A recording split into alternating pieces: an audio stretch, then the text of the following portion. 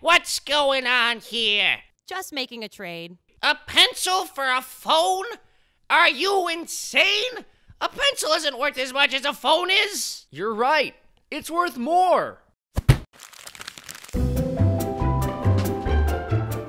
You would really trade a phone for a pencil? Why? I don't know. I just like this pencil more than I liked that phone.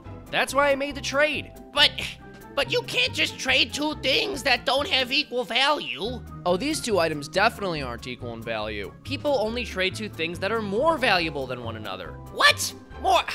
How is that possible? Bob, don't ruin this for me. Remember when I explained that economic value is subjective? Nah, I wasn't in that video. I remember it. Well, this is a similar concept. Things are worth what people are willing to pay for them. The reason I was willing to trade my phone for Sarah's pencil is because I value her pencil more than I valued having my phone. And she only wanted my phone because she valued my phone more than her pencil. For a trade to work, there has to be some kind of gain for both parties involved. Otherwise, there'd be no reason to trade. And if we viewed the item we already owned as more valuable than what we were asked to trade it for, we definitely wouldn't want to trade it. So when we choose to trade, that means each of us values the thing we got out of the exchange more than whatever we traded it for.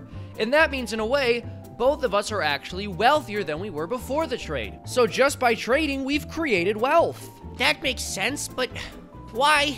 Why would you find this trade valuable? It's really bothering you, Bob, and I find that enjoyable. Huh? But phones cost so much money, and pencils are so cheap. It's not all about dollars and cents. You just don't know why something is worth what it is to another person.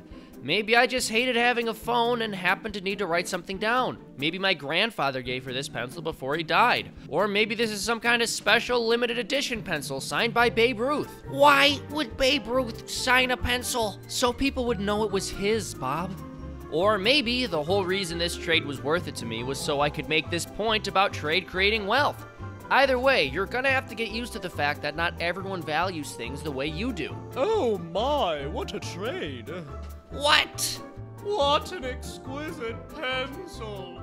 Told ya! Howdy, everyone. Thanks for watching. For more content like this, check out fee.org.